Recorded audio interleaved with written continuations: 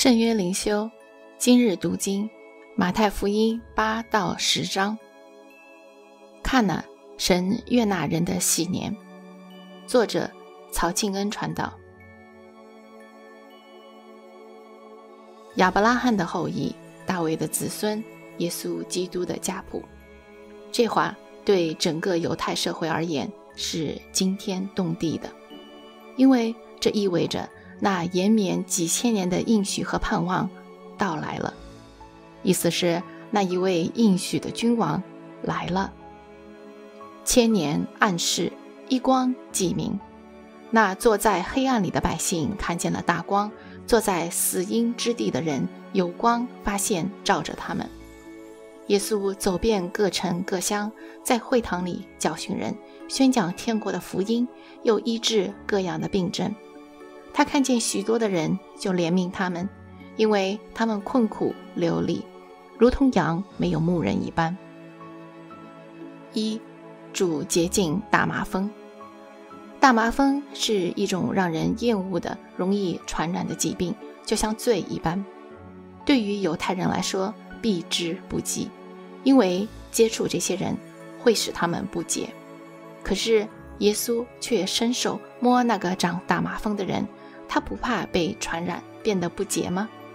但主摸他，非但没有被传染，反而那人便立刻洁净了。意思是弥赛亚医治、洁净、救赎的能力压倒了大麻风传染污秽的能力。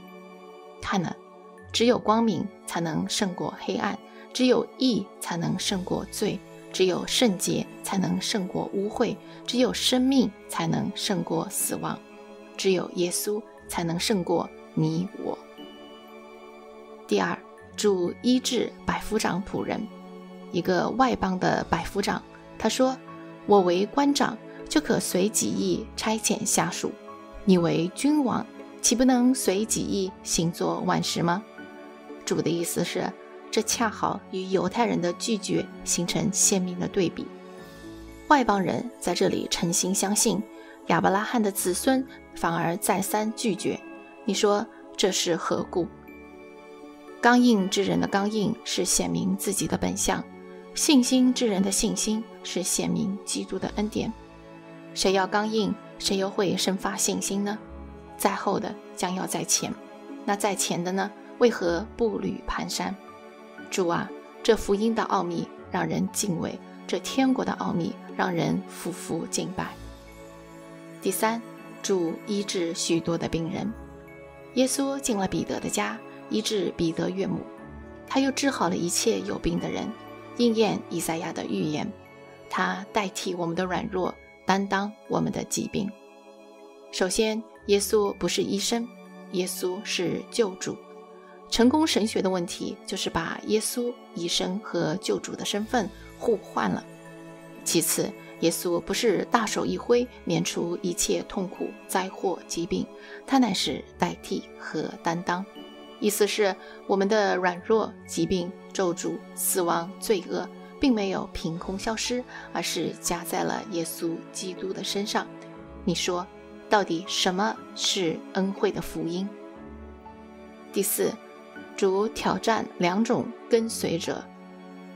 有人看见明显的神迹和大能就来跟随，这个文士态度坚决：“夫子，你无论往哪里去，我都要跟从你。”主的回应充满挑战：“湖里有洞，天空的飞鸟有窝，人子却没有枕头的地方。”意思是你要计算代价，计算了代价之后，你还真愿跟随吗？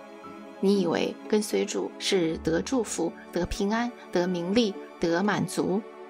如果跟随主意味着受苦、受辱、受穷乏，你还愿意跟随吗？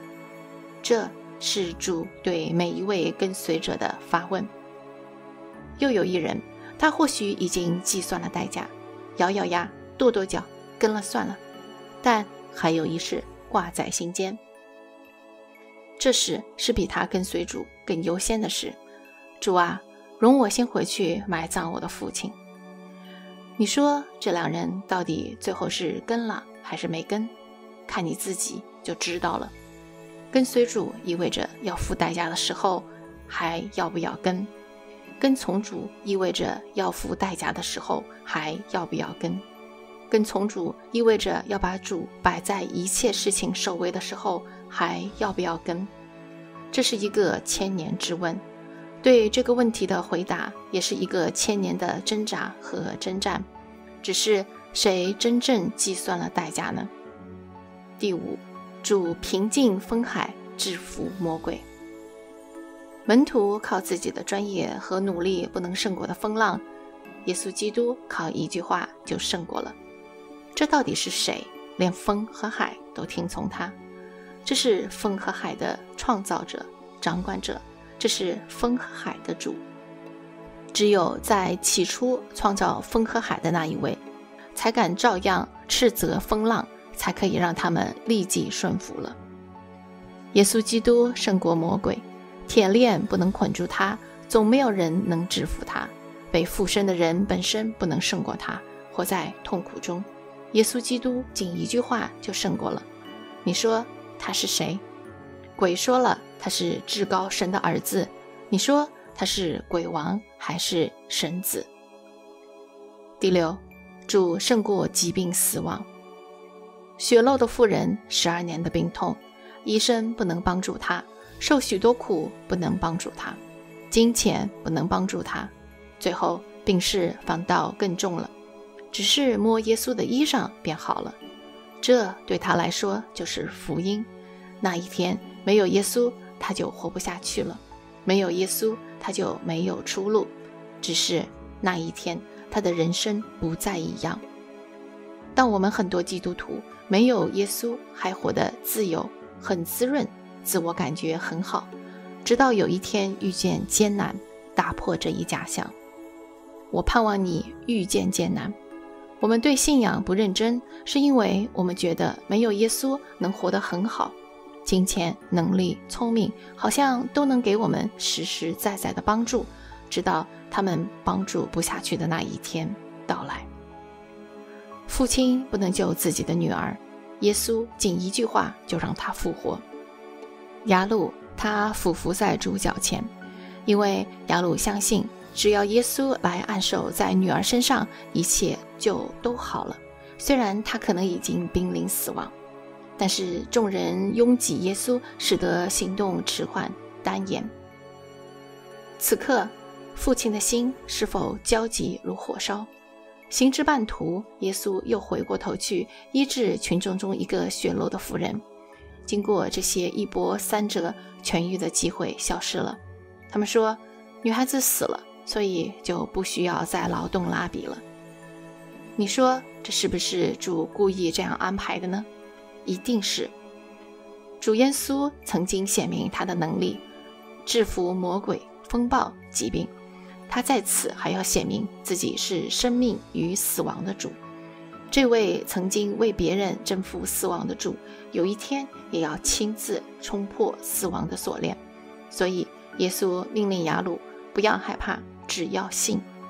我们一生的问题就是我们的怕大过了我们的信。主来。挑战我们，人靠着自己的能力永远无法胜过的艰难、苦难、疾病、魔鬼、病痛、死亡，但耶稣基督都被他们胜过了。那么你说，耶稣到底是谁？这个世界上谁能胜过这一切呢？没有人能胜过，除非他是这一切的主宰。这个世界上谁又愿意担当这一切呢？没有人愿意担当。除非他真的爱你。第七，这到底是谁？这一段经文描述了主耶稣和法利赛人一次次的冲突。冲突的焦点是耶稣基督的言行违背了法利赛人的信仰。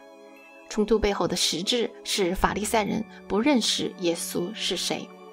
耶稣基督解决冲突的方式是宣告他真实的身份，从而带出一个强有力的冲击。耶稣说：“小子，你的罪赦了。”法利赛人便怒火中烧。这人说健忘的话了。只是如果他说完这话之后就让瘫子痊愈了呢？